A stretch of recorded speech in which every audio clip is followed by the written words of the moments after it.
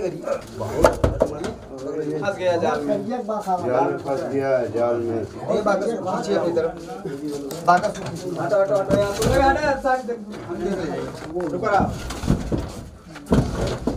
और हाँ हटाइए हाँ बाहर थोड़ा करिए जगह बनाइए।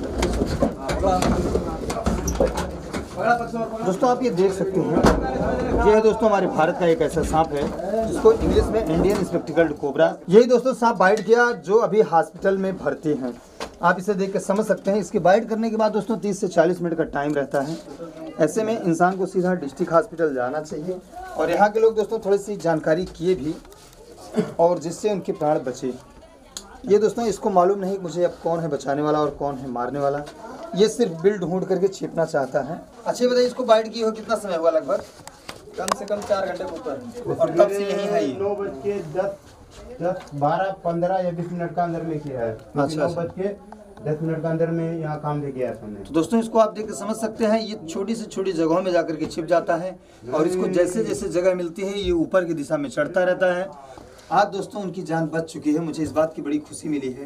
तो दोस्तों, इसे आप देख कर समझ सकते हैं, ये इसके अंदर बिल होल है, जहाँ पर दोस्तों ये मिट्टी पड़ी हुई है। दोस्तों, ये चूहा खाने के लिए हो सकता है इसके अंदर यहाँ पर बैठा हुआ है, और उसी को पकड़ने के चक्कर में हाथ पकड़ लिया। दोस्तों, ये जब तक इसके साथ कोई छेड़छाड़ नहीं होता, कोई बदतमीजी नहीं होती, तब तक ये किसी को भी नुकसान नहीं पहुंचाता है। इसका पसंदीदा भोजन चूहा है, और बारिश के महीने में जैसे चूहा नहीं मिलता है तो ये मेढक से भी अपना काम चला लेता है।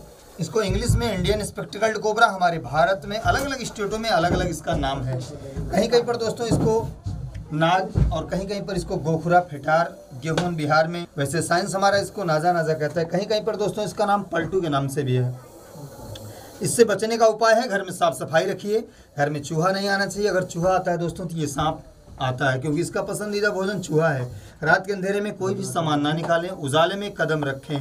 जहाँ कदम रखिए वहाँ टार्च का होना ज़रूरी है। इस समय बारिश का महीना है और बारिश के महीने में ऐसे सांपों का निकलना लाजमी है। आप सेफ़ रहिए चलिए इसको यहाँ से निकालते हैं। और दोस्तों आप ये देखिए ये समझ रहा है खुद के बचाव के लिए इस प्रकार से ये बाइट करता है। इस वीडियो को देख के आप कॉपी नहीं कीजिएगा। चलिए हम इसको यहाँ से उठाते हैं और फिर लेकर चलते हैं बाहर।